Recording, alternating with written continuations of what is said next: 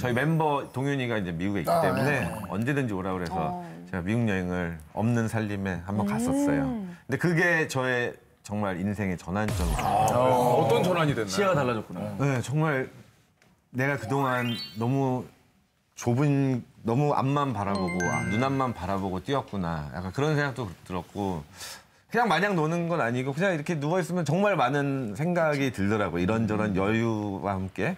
근데 그러다가 어떤 외국 분이 캠핑카를 타고 남미부터 이제 LA까지 올라오신 거예요. 쭉.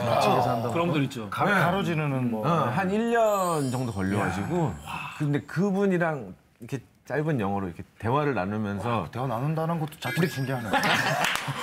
외대 외대 나오셨죠? 외대.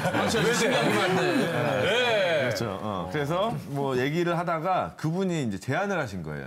자, 기 캠핑카를 어.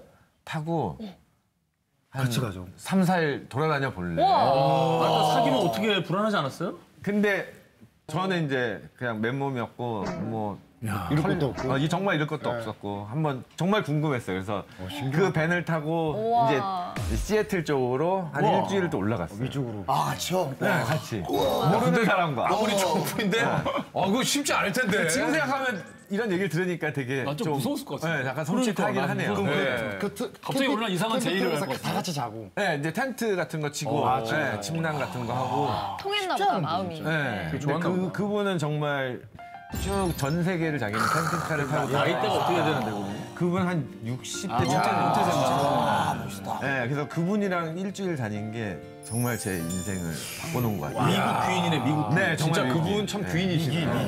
그분을 쫙 그냥 미국 가면 횡단하고. 멋있는, 멋있는 것 같아요. 아니 근데 이게 사실. 어떤 어떨지 모르겠지만 아, 요즘 어떻게 보면 딱 맞는 느낌이에요. flex야, flex. 아니 진짜. flex. flex. 근데 뭐 제가 이제 결혼도 안 했고 아직